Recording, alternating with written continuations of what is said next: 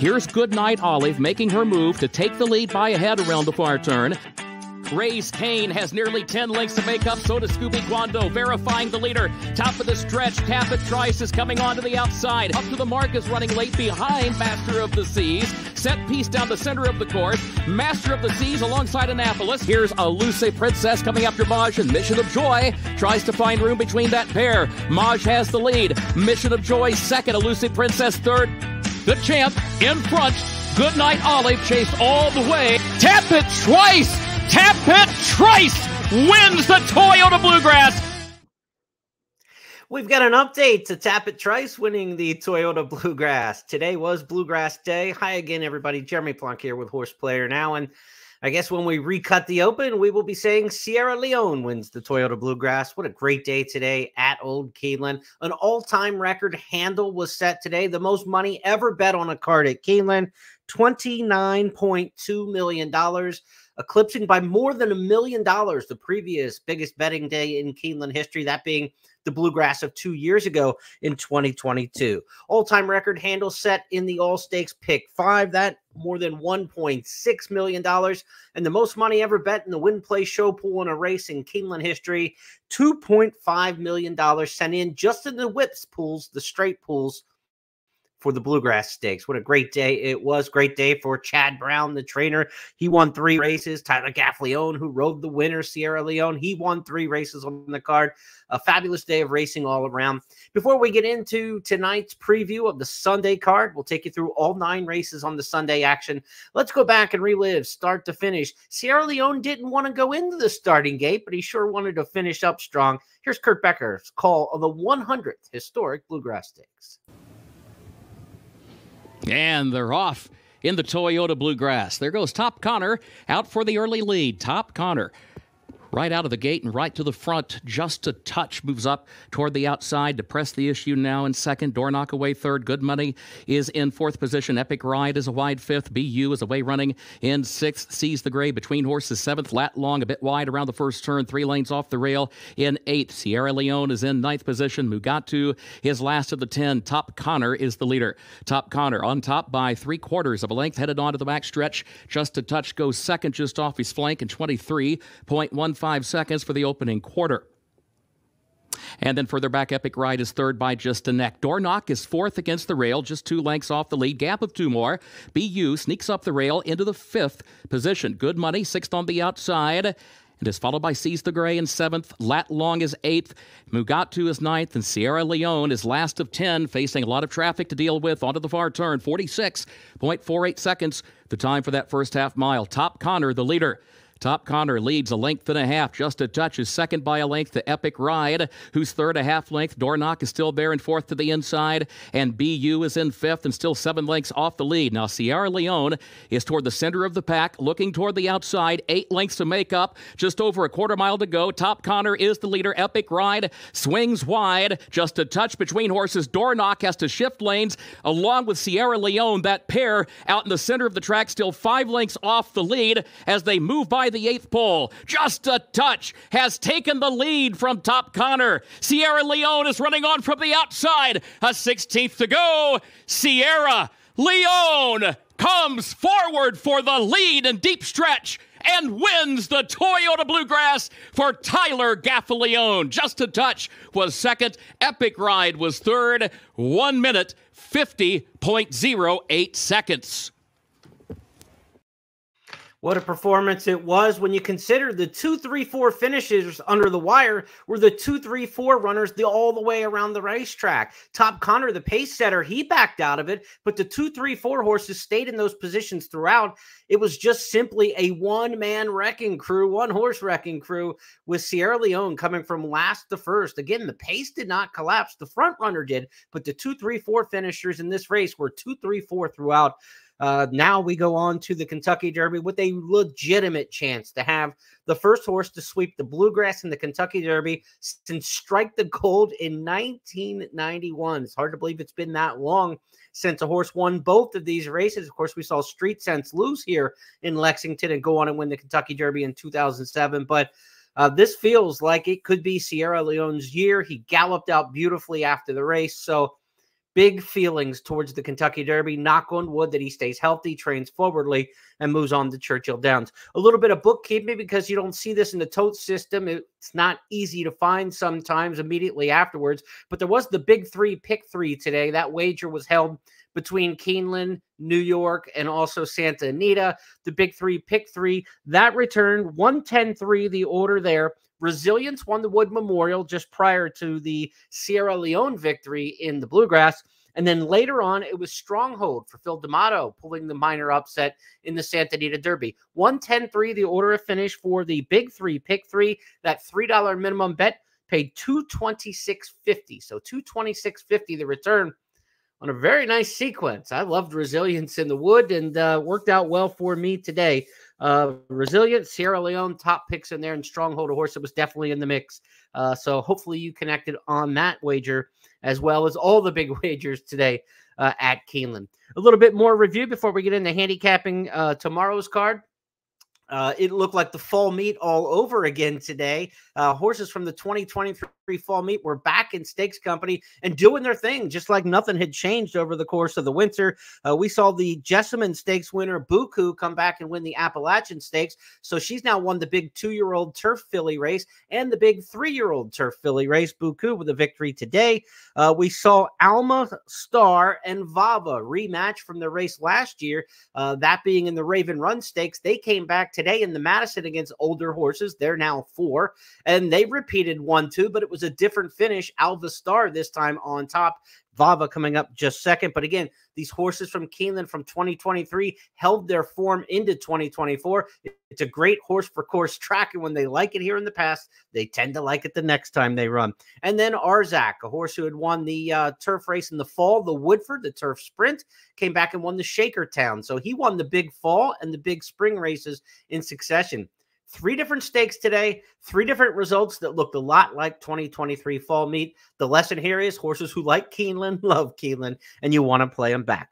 Also, today on the card, Irad and Jose Ortiz each picked up two wins. So, riders that are doing well. We're going to see John Velazquez back on the card Sunday here at Keeneland as we look ahead to the Sunday program for Beaumont Stakes Day. John Velazquez was absent today from uh, Keeneland because he went up to uh, Aqueduct to ride, and his Wood Memorial mount was the aforementioned Resilience. It was a good road trip for the Hall of Famer Johnny V.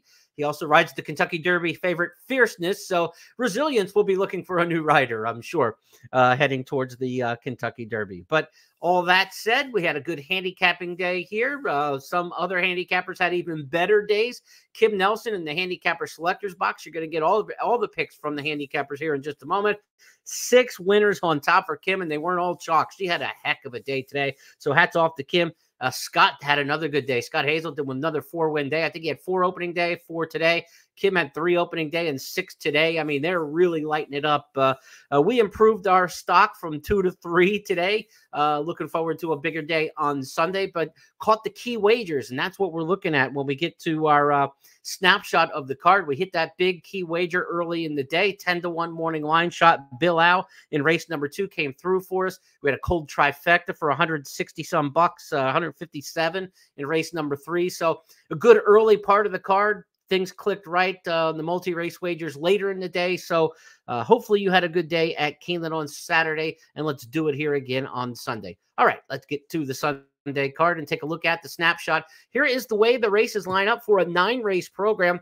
Now, with a nine-race card at Keeneland, this is our first one of the season. Keep in mind with the way these wagers overlap Race number five is going to be part of the early pick five and the late pick five. So, as we give you the snapshot, the early pick five starts in race one. It'll be races one through five.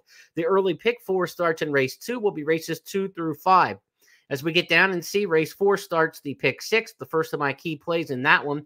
Race number five is the second of my key plays on the card. It starts the late pick five. So that race five, I mean, that is a centerpiece swing race, as I like to call it it's part of all the early and late multi race wagers. So really focus in on race number five. Turf pick three starts in that fifth race as well. So there is a lot cooking from race number five on this card, the way it shakes out.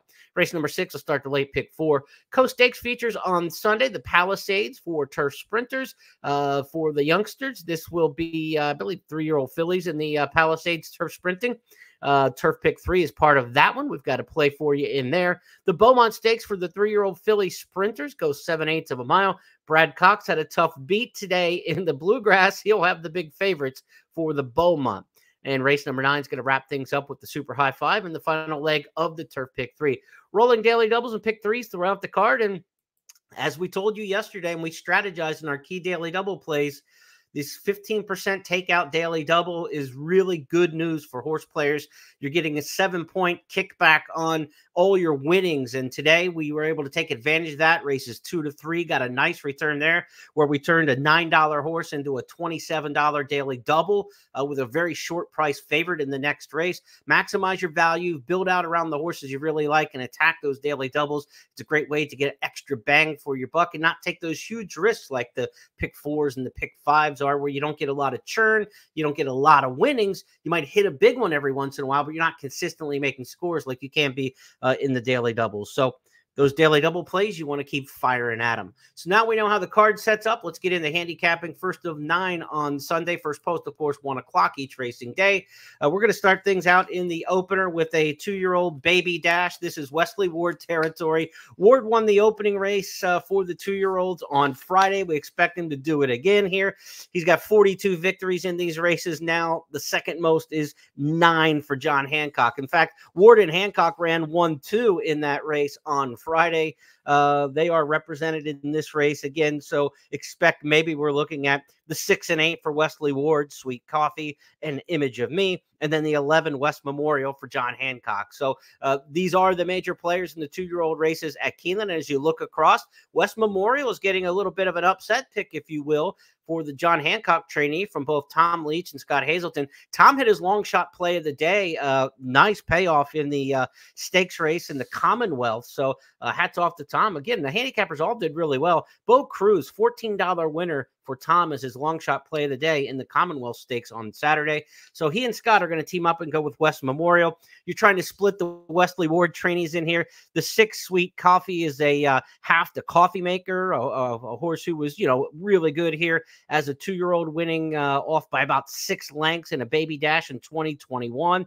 Uh, so this is a pedigree to kind of run right back. Irad Ortiz coming off a two win day. Image of Me, the other one for Wesley Warden here, certainly has to be respected pedigree to love it here as a two year old by Hootenanny. Hoot Nanny, of course, won here during the poly track era, I believe, or on uh, turf sprinting, I think it was when he broke his maiden. But you're looking at a horse who last year, Hootenanny as a sire, produced two baby dash winners here during the Keeneland meet spring 2023. So we know he can get one to win early. We know Wesley Ward gets him to win early. So six and eight, I think you're kind of splitting hairs between the two. Might get a little bit better price on the eight image of me with Gerardo Corrales riding versus Irad Ortiz named on the six week coffee. So I went eight six in here, looking for a little bit of the value in that sense. Uh, the four Baytown Cleopatra's got a big workout. Alvin Jimenez rides there. He's got a really good percentage of winning here in these four and a half furlong dash races. So I've got it eight six four, but if you want to use the eleven in there, certainly uh, plenty of endorsement uh, for any John Hancock training in these two year old races. Let's move from the kickoff leg of the pick five to the kickoff leg of the pick four. That'll be race number two on the card. This is starter allowance company here, six furlong sprint. We're looking for horses forwardly placed typically in six furlong races at Keeneland. I know there's been a lot of banner and talk about the track being speed favoring, but we saw horses get from off the pace. I think second race on the card today was one from off the pace. Obviously, Sierra Leone came from well off the pace. Speed wins at Keeneland about 70% of the time, like it does most anywhere, you know unless there's a big weather change or a big track maintenance change, you're not going to see a change in that. Horses that get to the front are going to be best most of the time. That's just the way it works in dirt racing, especially um, at Keeneland. So we're trying to find a horse going six furlongs that can get towards the front. And here, Supremely, I think, might be able to get back to some of that early speed that this horse showed back in. Um, in November at Churchill. The last two times on the synthetic at Turfway really didn't get out of first gear. So I'm hoping to move back to dirt Tyler Gaffalione's riding really well. I'm hoping that Supremely can get out of the gate, get into the race quickly, and uh, go on from there. So I've got the three Supremely as my top pick here in race number two. And second race, we look across the uh, other handicappers. Tom's also got Supremely, as does Kim. Oncoming train, the six for Scott Hazelton and JP Race. I like those initials. Maybe Gabby's got the right uh, mojo with that one. Uh, her top pick, that one coming off the synthetic. There's not a lot of early speed in this race. Who makes the front in here? I think can kind of dictate the race. The one Hocus has a chance maybe to show a little bit of speed. But again, I'm hoping the three can do so. This is a starter allowance $30,000 level, which means the horses had to appear once in their career for 30,000 or less. So I'm looking for somebody who'd hit the max only once in their career they ran for a tag. Once they ran for 30,000 and they happened to win. That's exactly the best case scenario you can have to be eligible for this race. And that's exactly what Supremely did. The one drop for 30,000 in November at Churchill, won, and not only one, but one on the front end that day. So a repeat of that, I think, puts Supremely in the winner's circle. That's going to be uh, my play in race number two. Third race next up on the card as we take a look at the snapshot. This is one of the rare cases all day where a multi race wager is not kicking in. But of course, race number three is going to be second leg of the early pick four, third leg of the early pick five. And I thought this was a wide open race with some decent options. We're back into another starter allowance company in here. I've got one at a price in here. Let's see if we can't. Maybe we're chasing a little bit here, but I'm going to take a shot in here with Barksdale, who's 15 to 1 uh, in the morning line. And I'm on the island. You look across the way, nobody else has Barksdale even in the top three. Now, it's Tyler Gaffalione getting the call here for William Walden. So I love this jockey change. I mean, you're going from Ashton at Turfway to Gaffalione here at uh, Keeneland. Major, major uh, rider upgrade here. This is a son of Street Sense, and Street Sense, of course, last year had a big year at Keeneland. Uh, produced four or five winners on the main track, hit about 25% uh, with his offspring. The blinkers come off, so you know a little equipment change, they'll shake things up, and it's the second start after a layoff for Barksdale. So that's usually a good form cycle move. The horse needs a race on the first time back, and now they changed the surfaces too from the uh, synthetic to the dirt. Maybe this horse moves forward twice. We can, and we get uh, Barksdale with a improved rider here. So I'm taking a shot, 15 to one in the morning line. Maybe we won't get that price. Not a super confident pick, and that's why even though it's a 15 to one, I'm not using it as one of my key plays of the day. But we're going to take a little stab in here with the uh, eight Barksdale. Across the way with the other handicappers, you see this looks like a wide open race. I wrote wide open race, decent options at the top of my page. And when I look here at the page of the handicappers at Keeneland.com, the 11's picked on top, the ones picked on top, the six, the seven. I've got the eight. Five handicappers, five different horses on top. This is certainly a spread race in the multi race wagers, and you've got every license you want to take a shot at a little bit of a price uh, here in race number three. Let's go to the fourth on the card, and this will be the first of my key plays of the day. Pick six starts here. The pick six was hit on Saturday. Payoff in the pick six was what I have. I've got that written down here somewhere. That returned $36,000 for the pick six today. $511,000 was bet into the carryover. We had a $66,000 carryover from Friday into Saturday.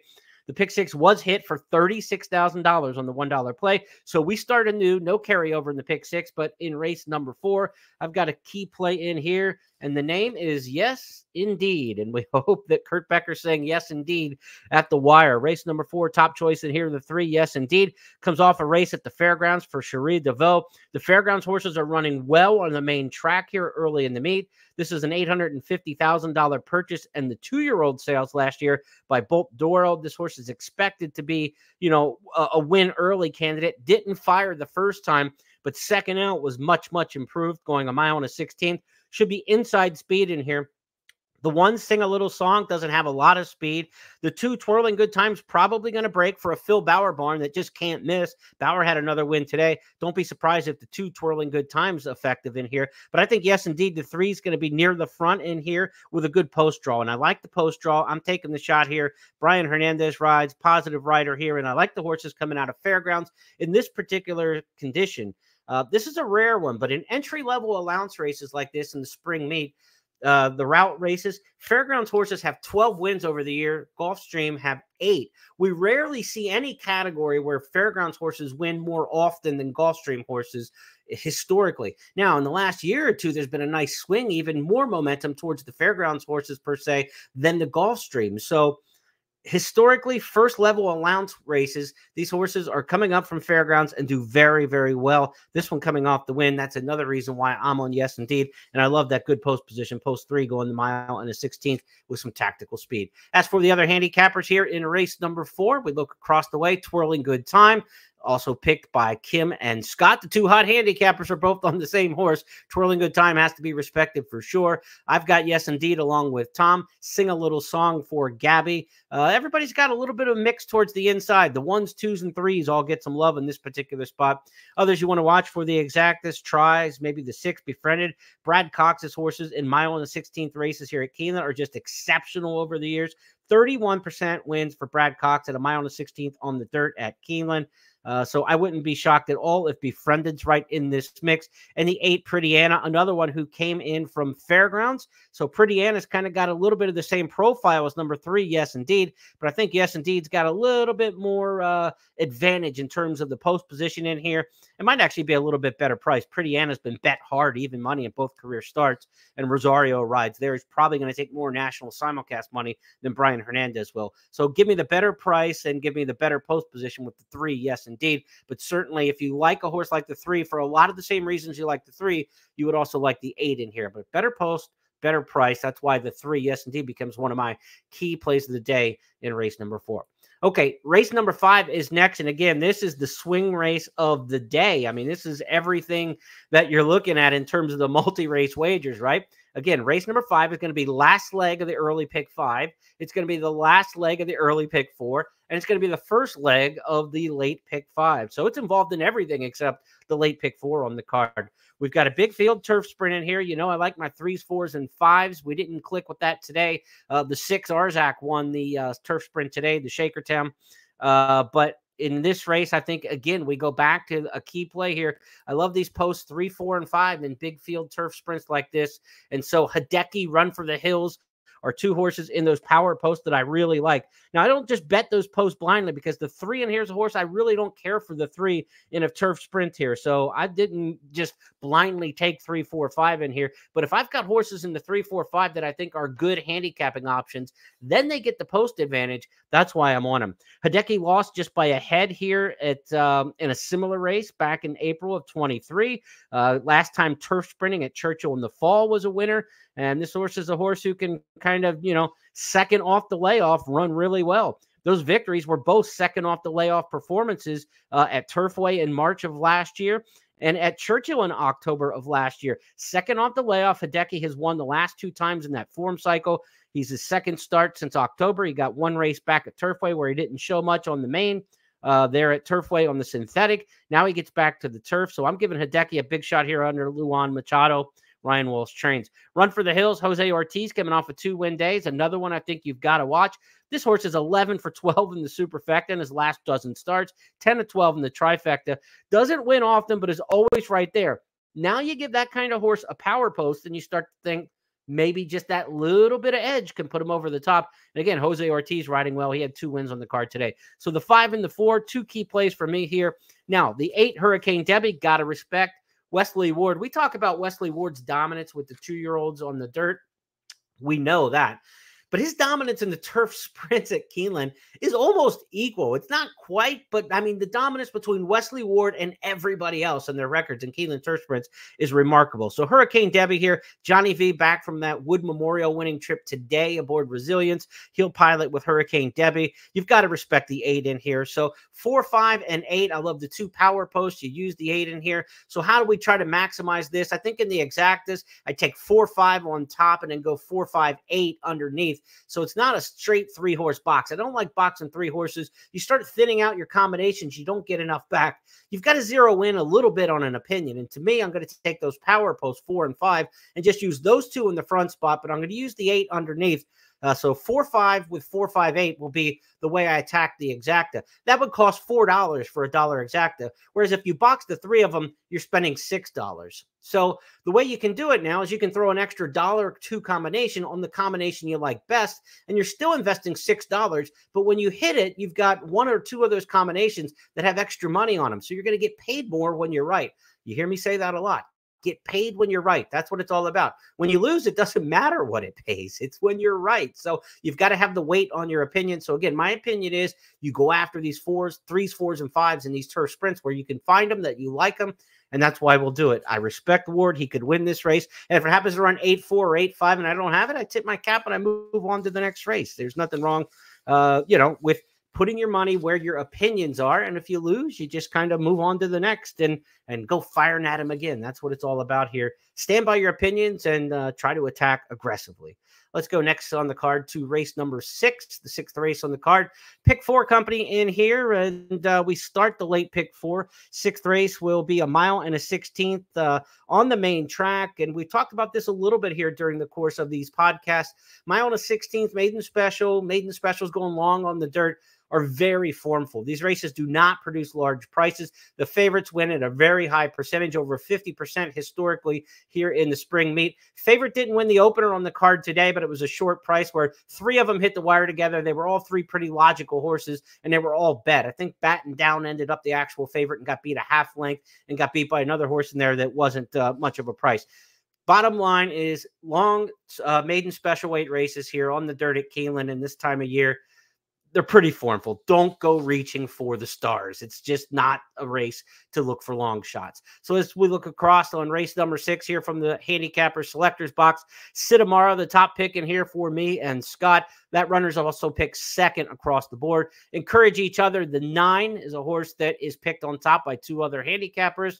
And that horse, the nine, is also on the underneath section for me. And then uh, Claire's Jetty, the two, a first time starter for Phil Bauer. Red hot Phil Bauer. He had a win today. And again, he hasn't had any starters this year, but batting about 50% on the year from limited starters. Kim's going with Claire's Jetty. Now, I don't like first time starters based on the stats and trends, but I understand if somebody wants to take a Phil Bauer horse who's working bullets in the morning, uh, there's no big argument to that in most situations. But again, first time starters are not what you're looking for uh, in these races historically. Sitamara just makes a lot of sense to me. Bill Mott trains. He had Batten down today. Yeah, they got beat, but they ran a good race, got beat a half length. Big day for Mott. He had a win, a second, and a third on the card today at Keeneland. Of course, he trained our key play early in the card, Bill Lau, who won impressively uh, coming out of a race at Gulfstream like Sitamara does. Of course, Mott won the Wood Memorial today with resilience on the road. So a lot points to me in here to the five Sitamara. I think he's just best in here. Restless Dan, uh, Restless Dreamer, the sixth, though. Chad Brown, red hot. Tyler Gaffalione. Again, they teamed up today to win the Bluegrass. They each won three races on the card. They won the finale together in tandem. So they teamed up for two of their three wins each. You can't go wrong with the six Restless Dreamer, the way things are going right now for Brown and Gaffalione. And then the nine, encourage each other, is a well bred son of street sense, cost $350,000.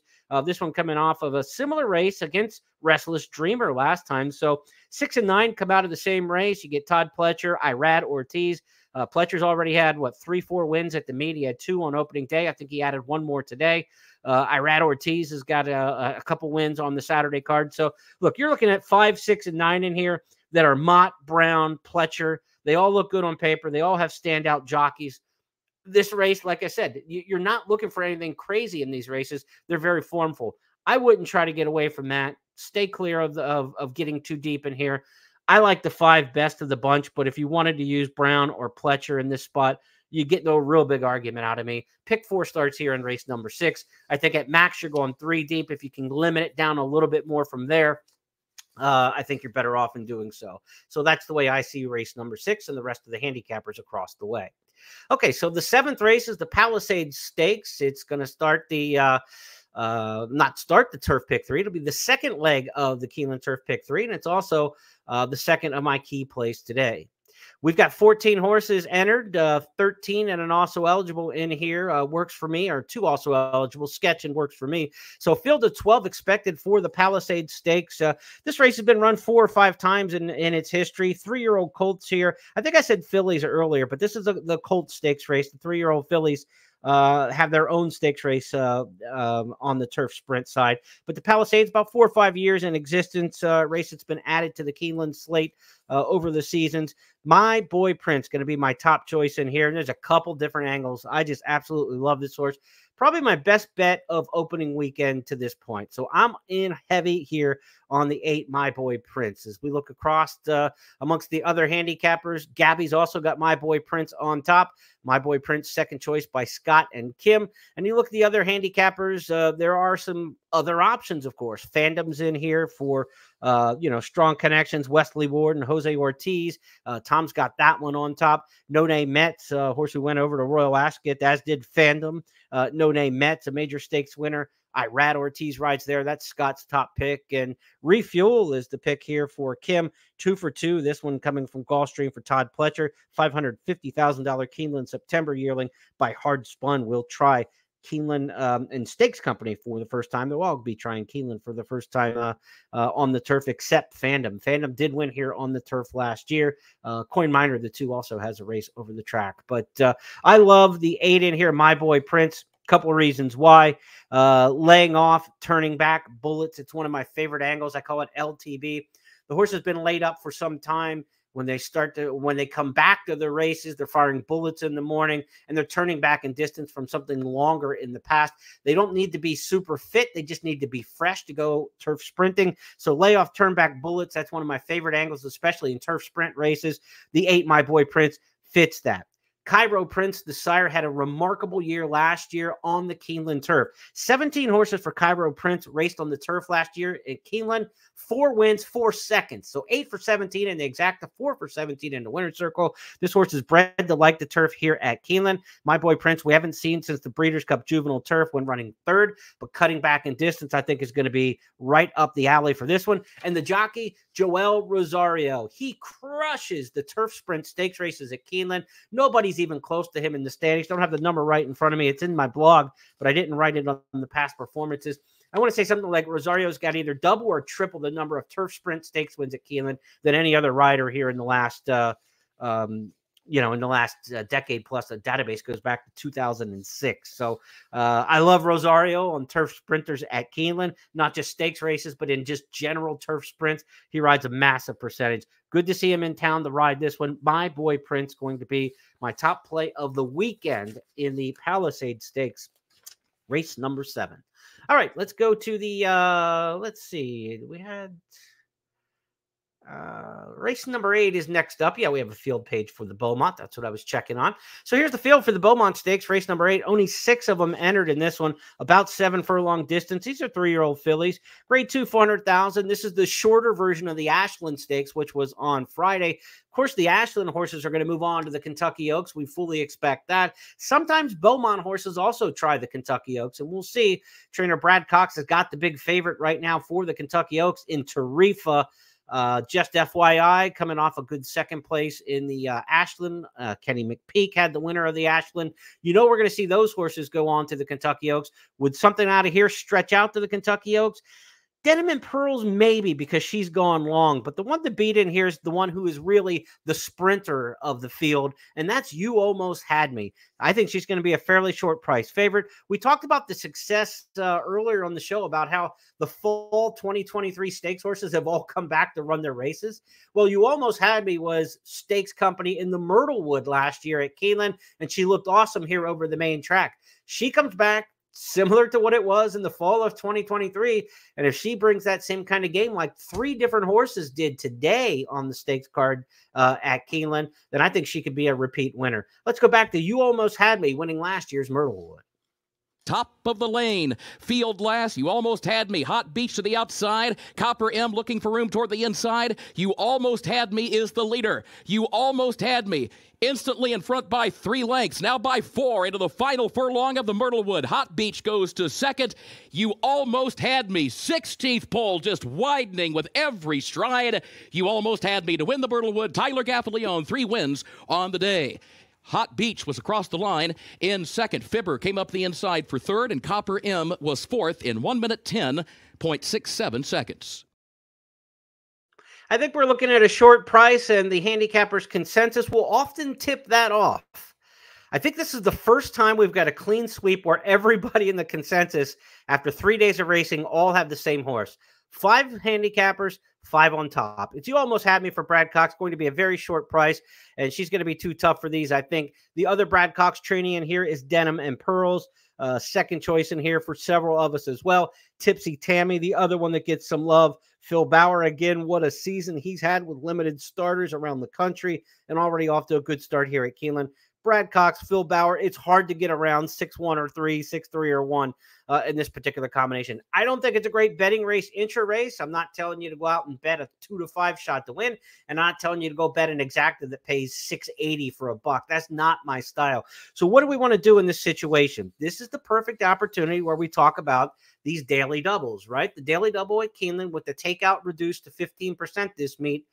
This is the perfect opportunity right here. This is what you want to study when you're talking about how to strategize because this is not a good betting race, the eighth race on the card. There's six horses in it. So, six, you got a winner and you got five horses you could run second. I mean, there's only five possible combinations in this race if you think that the six is an absolute winner. Even if you think it's chaos, it's only six times five. There's only 30 ways that the Beaumont stakes can turn out for an exacta.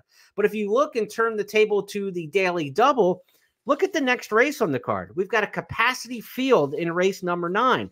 Now the math can start working for you because remember, losing tickets pay the winning tickets. That's the way this works in pari-mutuel betting. So the bigger the field size, the better your payoffs are going to be people are going to bet horses in 14, 12, and 14 horse fields that are losing combinations. You know, it's just the way that it works. So let the math work for you here. Look at the daily double from races eight to nine. Also, look at the doubles from seven to eight. You have a horse you really like in the seventh race. Look at that daily double into the eighth race because you've got a stone cold winner in here and you almost had me. Unless you think you almost had me is going to get beat. Now, if you think that horse is going to get beat, now your strategy is different and you're attacking aggressively in a in a fading the favorite situation.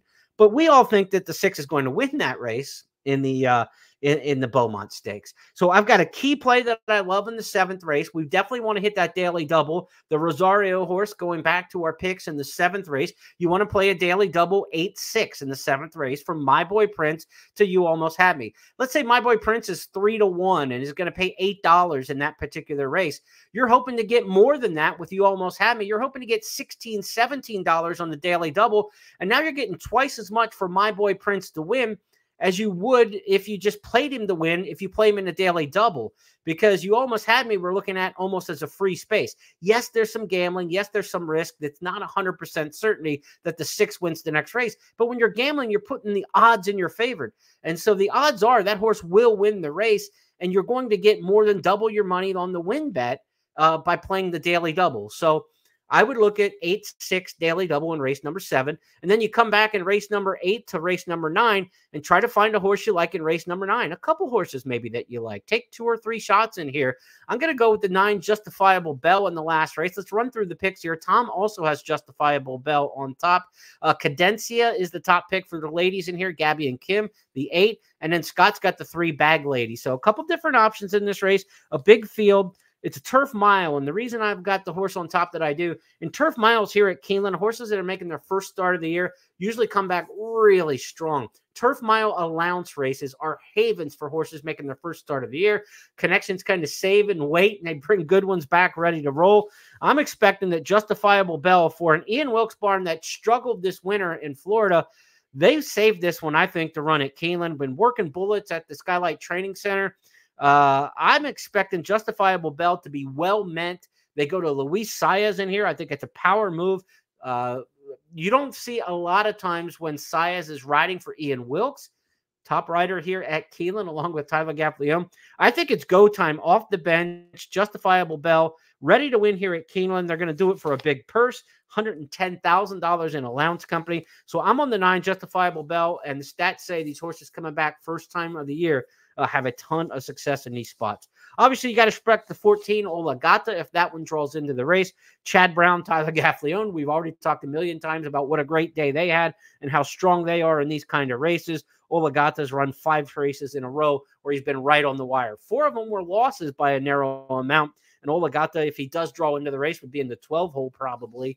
Uh, so not a great post position, but you look at that one for an exact and maybe underneath. But again, you would not want to be playing the daily double to Olagata um, from the favorite in the eighth race. You, you you don't want to be playing. You almost had me to Olagata to Chad Brown. I mean, you're looking at a very skinny double. But I think we can get a fair price on the nine in the last race, and that's what we're going to try to to uh, uh, to do. And the nine horse in here, justifiable bell. So daily double in the uh, feature race, the eighth, six nine late daily double to wrap things up.